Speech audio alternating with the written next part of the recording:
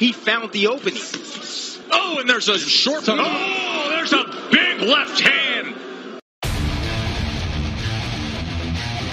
That bouncing around the ring a little bit. The jab. utilizing a very difficult style to, to deal with. Six punch combination That in there, um, but but in this, it's important to make your rounds as a champion. for Alimkhanuly here. It doesn't look like it's too serious at the moment. I think Onolos is hurt to the Yeah, body I here. think he's- He's taking some hard shots, starting to actually show Yeah. show the punches. It was, it was that body shot earlier.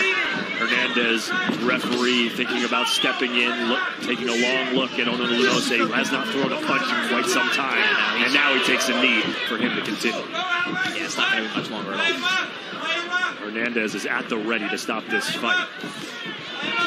And Ono Lunose is done.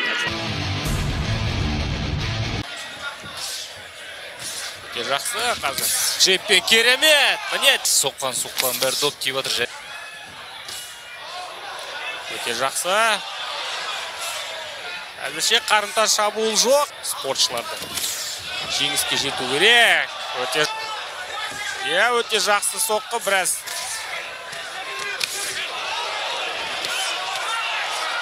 Тоқтатады ма рефери бұл жерде? Иә. Толықтай.